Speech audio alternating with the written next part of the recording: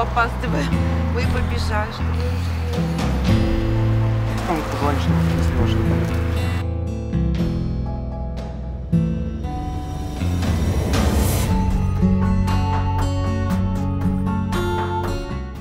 работаете, работаете. Девушка, прошу прощения, скажите вот э, тем людям что-то, которые не пристегивают детей, сами не Я пристегиваются. могу лично сказать Виталию Плюшко, сколько он уже этих фотографий сделал, видео наснимал. Ага. Хоть бы одну подарил, бессовестно. А-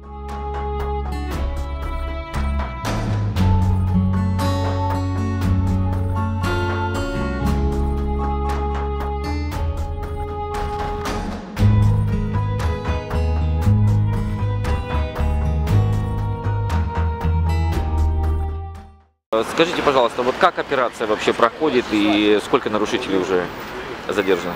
Операции проводим с постоянной регулярностью. На сегодняшний день в городе Ивангороде находимся, но и ситуация подтверждается, что на сегодняшний день еще есть много нарушителей, которые нарушают право перевозки детей.